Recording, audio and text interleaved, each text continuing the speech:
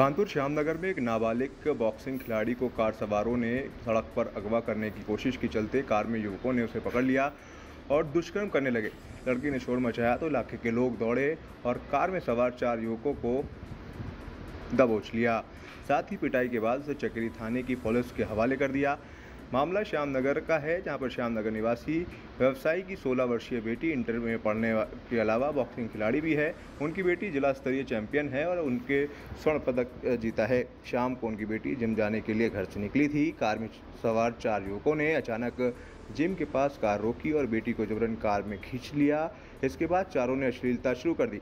बच्ची के चिल्लाने पर राहगीर व आसपास के लोग दौड़ पड़े। कार सवार चारों युवक अमन, आकाश अनुभव और पीयूष को भीड़ ने पकड़ लिया।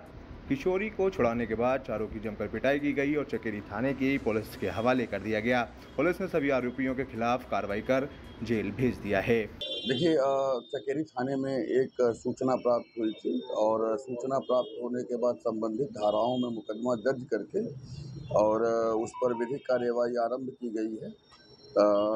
जो भी इस प्रकरण में गुण दोष के आधार पर कार्यवाही किया जाना अपेक्षित है, वो किया जा रहा है। और इसे हमने बहुत गंभीरता से लिया है।